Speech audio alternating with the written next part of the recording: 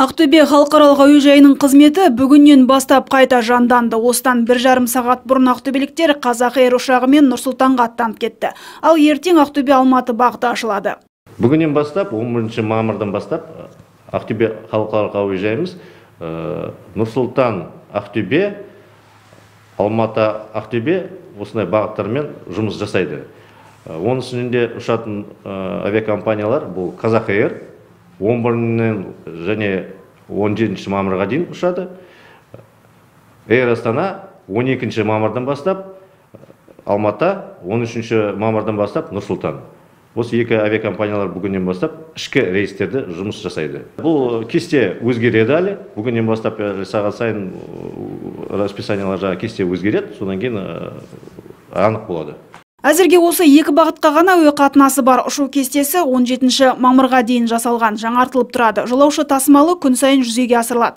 Ақтөбе Нұрсұлтан бағытында жолаушы тасымалымен айналысушы Arslan компаниясы 10 маусымға дейін қызмет көрсетпейді. Ақтөбе Мәскеу рейсін орындайтын Аэрофлот 3 маусымда жұмысын жандандыруы мүмкін. Халықаралық рейстерді ашу туралы әзірге мәселе көтеріліп жатқан жоқ. Ішкі рейстерде жолаушылардан ПТР тест тапсырған жөнінде анықтама талап етілмейтін болды. Оны көліктегі бас мемлекеттік санитарлық дәрігер сәдуақас байғабылов осы айдың басынан бері әуе кемесімен ұшып келген жолаушылар әуежай қызметкерлері мен экипаж мүшелері арасында коронавирус инфекциясын жұқтыру оқиғаларының тіркелмегендігімен түсіндірді. Билеттерде борттағы барлық орынға шектеусіз сатылады. Санитарный карантинный пункт істейміз ғой соның бүкіл нелерін нұсқаулардың бәрін жұмыс жасаймыз.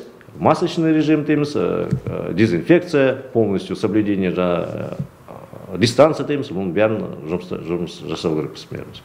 Оның бәрі ақтөбе халықаралық әуежайы бәрі дайын тұр оған Естеріңізге сала кетейік, COVID-19 пандемиясы салдарынан Ақтөбе халықаралық әуежайы бір жарым айға жуық уақыт бойы уақытша жабық тұрды. Алдымен халықаралық әуе қатынасы үзілді. Ішкі рейстер 22 наурыздан бастап тоқтады. Бразилиялық Баи федералды университетінің зерттеушілері осындай шешім қабылдаған мемлекеттер коронавируспен күресте ұтты деп отыр. Олардың есебінше індеттің тез тарауына халықаралық әуе қатынастары себеп болды.